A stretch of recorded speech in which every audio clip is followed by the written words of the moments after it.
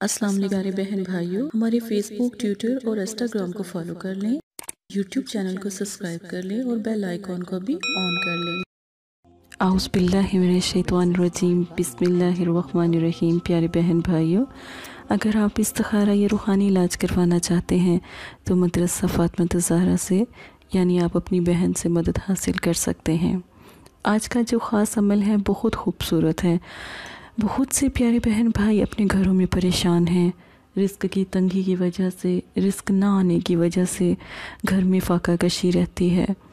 क्या ही बात हो कि हम अपने रब को मनाए।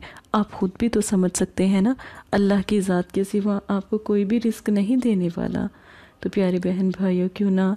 अल्लाह पाक से रिस्क की दुआ की जाए आज। अल्लाह पाक से रिस्क मांगा जाए। जिसको भी ये वजीफ़ा मैंने बताया है ये अमल का तरीका मैंने समझाया है। आज अल्हम्दुलिल्लाह अरबों और करोड़ों का मालिक, माशाल्लाह, अल्हम्दुलिल्लाह बन गया। किसी का कर्ज़ उसके सर पर ना रहा। एक दफ़ा आप भी आजमा कर, ज़रूर देखें। ये अमल अल्लाह के कलाम की कसम मैं आपको देती हूँ। दिन जुम्मातुल मुबारक का हो कोई सा भी दिन हो, लेकिन ख़ास जुमा के लिए अमल करना है, क्योंकि हमने बंदिश का तोड़ भी करना है। ये सारा जो रिस्क का मसला है ना, जो आपका रिस्क बंद हो जाता है, वो बंदिश की ही वजह है सारी, ठीक है?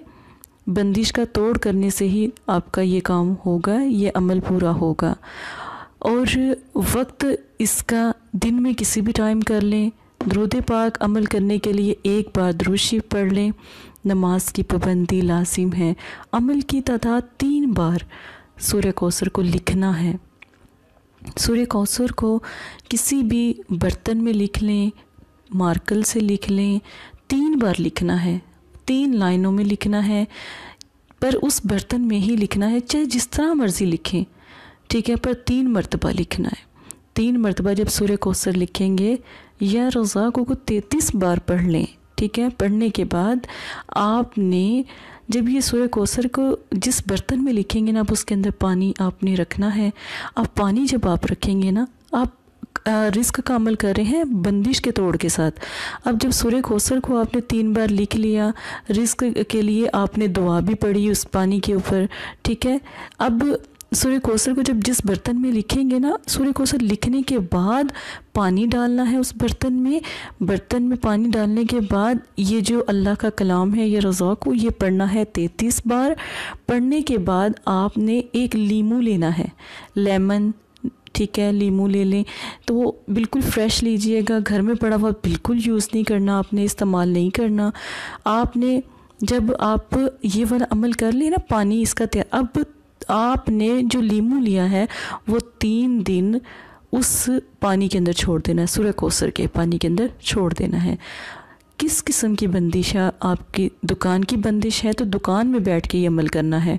घर की बंदिश है, घर में फाका कशी है, घर में लड़ाई झगड़े हैं, औलाद ना फरमान है, घर में कोई काम नहीं होता, कोई कारोबार नहीं चलता तो घर में अगर कोई ऐसा मसला है कि रश नहीं होता, लोग नहीं आते, दुकान पे ऐसे, जैसे पहले बहुत अल्हम्दुलिल्लाह करम अल्लाह की ज़ात का था कि ऐसा सब बंदिश लगना शुरू हो गई, फिर ये दुकान में ठीक है?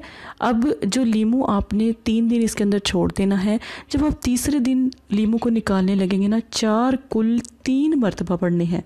चार कुल तीन मरतबा पढ़ के लीमू को निकाल लें अब लीमू के अंदर सारा जो बंदिश है, जादू है, काला इलम, सफली इलम, सारा जो है ना, इस लीमू के अंदर आने वाला है। तीन दिन अपने घर में रख दे। जितने भी शयातीन आपके घर में मौजूद हैं, जितने भी आपके घर में मसले, मसाइल हैं, उस लीमू में आ जाएँगे। अब आपने ये लीमू को निकालना है और किसी वीरान जगह पे जाकर लीमू को फोड़ दें, काट दें, ठीक है?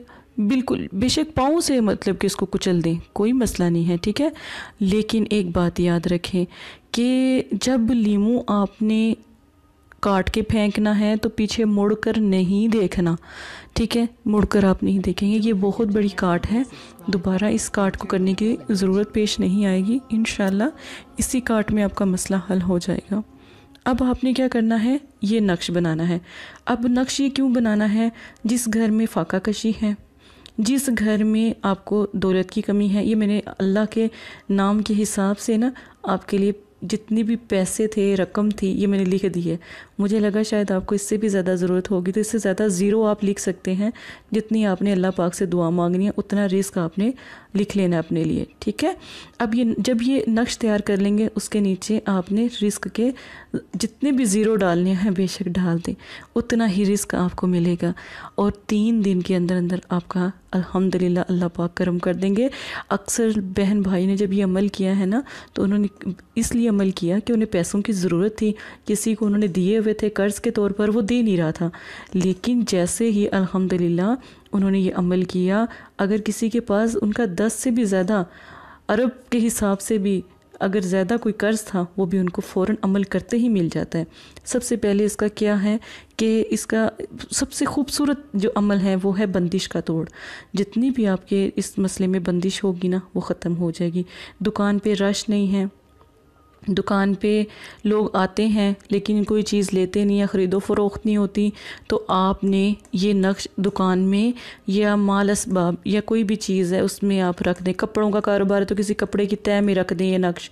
अगर कोई मतलब कि खाने पीने की चीज़ों का कारोबार कर रहा है, खाने पीने की चीज़ों में मीठी चीज़ें बेशक रख लें, चीनी में रख लें। अगर कोई बहन भाई की दुकान, शॉप वगैरह नहीं है, फिर वो क्या करे? अगर किसी की सब्ज़ी की दुकान है तो फिर वो क्या करे? फलों में रख ले। फलों के जो होते हैं ना डब्बे, उनमें रख लें। अगर फलों में, अगर लगता है कि ये गुम हो जाएगा, फिर वहाँ पर अपने किसी दुकान पर इसको लेमिनेशन करवा के इसको ना चिपका दें। दुकान के अंदर ये इसको रहना ज़रूरी है और फिर आप अपनी आँखों से मौज सा देखेंगे अल्लाह की ज़ात का। इतना आपकी दुकान पर रश होगा कि आपकी सोच है। और एक बात याद रखें कि जिन बहन भाइयों के घर में फाका कशी है, अब वो ख़वान क्या करे इस चीज़ का? तो वो वो क्या करे? इस को अमल को करे और इसके पानी को जो पानी हमने लेमन, लीमू के लिए लिया था ना सूर्य कोसर के तीन बार लिखने के बाद, उस पर बर्तन में पानी डाला था, वो पानी पूरे घर में अगर औलाद नाफरमान है सारे घर में पिला दें। अगर कोई ऐसा मसला है, कोई पी नहीं सकता तो पूरे घर में छिड़काव कर दें। एक मरतबा करने से बंदिश, जादू, सफलीलम किसी को कितना भी है। कोई इसमें तड़प रहा है, जादू इतना ज़्यादा है कि वो बीमार है तो उसका तोड़ हो जाएगा, अल्हम्दुलिल्लाह। एक दफ़ा ये अमल आपने करना है और इसके मौत से आप अपनी आँखों से देखेंगे, अल्हम्दुलिल्लाह। और एक बात याद रखें, इसको गलत इस्तेमाल नहीं करें। अल्लाह पाक नहीं पसंद करते किसी को दुख और तकलीफ़ देना। दूसरी बात यह है कि जब आप आपका काम हो जाता है। अगर आपको अरबों, करोड़ों इससे भी ज़्यादा रिस्क मिल जाता है, घर में फाका कशी ख़त्म हो जाती है तो इस अमल को आप एक साल में बस एक मरतबा कर सकते हैं। पूरे साल का रिस्क अगले साल भी ये अमल कर सकते हैं।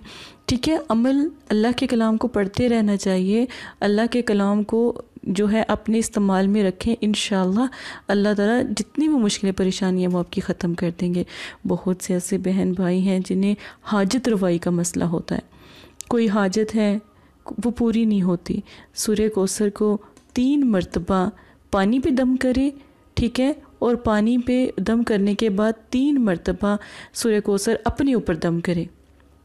अगर उसको पैसों की हाजत है, रिश्तों की हाजत है, जैसे माँ बाप घर में होते हैं, बच्चियों के, बच्चों के रिश्ते नहीं होते, उनको ये मसला है तो सूर्य कोसर तीन मरतबा पानी जो सा है, वो उसका पी भी सकते हैं और ख़ुद पर पढ़कर दम भी कर सकते हैं। अल्हम्दुलिल्लाह, तीसरे दिन ही उसका रिश्ता हो जाएगा। कोई बीमारी है बीमारी है तो सूर्य कोसर को तीन बार लिख कर उस मरीज़ को पिला दें, उसकी सारी बीमारी ख़त्म। यहाँ तक कि बड़ी बड़ी जैसे बीमारियाँ होती हैं, कैंसर की होती हैं तो बनौस, बिल्ला लपाक माफ़ करें, जैसे दिमाग की होती हैं, दिल की होती हैं, बीमार। आजकल ना मेरी एक बहुत प्यारे माँ हैं, उनको दर्द है, जोड़ों का तकलीफ़ है, वो परेशान हैं। तो ये अमल आप करें अल्हम्दुलिल्लाह।